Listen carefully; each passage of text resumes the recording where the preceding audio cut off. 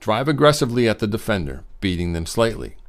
If the defender is following you closely and in the position to block your shot, stick the ball out with your inside hand as if you were about to attempt an underhand layup. Simultaneously take a giant step forward and plant your inside foot. Your defender should jump to block the shot. Then, reverse pivot going away from the basket and put the ball into your other hand. Once you are back on two feet, shoot a jump hook over your shoulder. It is important that you do not fade away when shooting the jump hook, but jump straight up in the air and hold the follow through on the release.